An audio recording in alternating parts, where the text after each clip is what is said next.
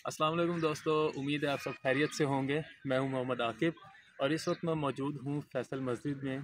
Right side पर मस्जिद है और लेफ़्ट साइड पर, मेरे बैक साइड पर अगर आप देखें, हर तरफ़ चीड़ के खूबसूरत खूबसूरत से दरख्त बड़े बड़े दरख्त और बारिश का टाइम है। मारगला की जो पहाड़ियाँ हैं, वो बादलों में घिरी हुई हैं, माशाल्लाह। इस साइड पर ये मस्जिद है। यहाँ पर। सुबह का तकरीबन आठ बज रहे हैं।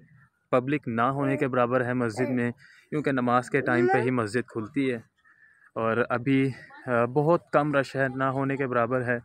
और एक पुरसकून व्यू, बारिश के बाद का पानी अभी जगह जगह खड़ा हुआ है। ये एक छोटा सा पार्क यहाँ पर बना हुआ है इर्द गिर्द चीड़ के दरख्त हैं, उनके पीछे बड़े बड़े से पहाड़, जो जिनकी, जो चोटियाँ हैं, वो बादलों में है।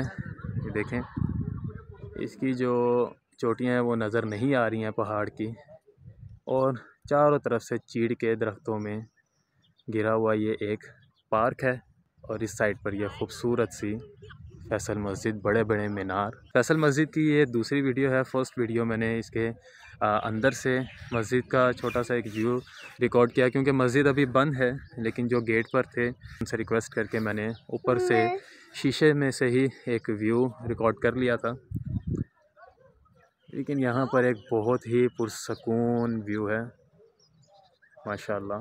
चीड़ के दरख्तों पर ये फूल भी, माशाल्लाह, काफ़ी सारे लगे हुए हैं। मेरे ख़्याल में इस वक्त इसके फ्लावरिंग का टाइम है और इसके ऊपर काफ़ी सारे फूल आए हुए हैं, माशाल्लाह। ये तेज़ हवा में पत्तों की आवाज़ सुने। सुबहान अल्लाह, माशाल्लाह।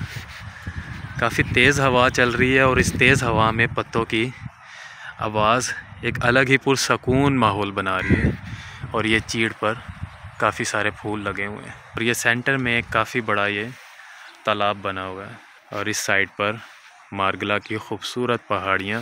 आई थिंक सो यही मारगला की पहाड़ियाँ हैं, या आगे जाके मारगला की पहाड़ी स्टार्ट होती है। तो इन यहाँ से अब नेक्स्ट जो प्लेस है वो डाइनो वैली है। इस्लामाबाद में। तो इनशाला डाइनो वैली का भी एक छोटा सा जी बेटा। हाँ। हाँ अभी जाते हैं। तो डाइनो वैली का भी इनशाला एक छोटा सा व्लॉग आपके साथ मैं शेयर करूँगा। तो ये वीडियो अगर अच्छी लगी है तो मेरे चैनल ए क्यू गार्डन को सब्सक्राइब ज़रूर कीजिएगा।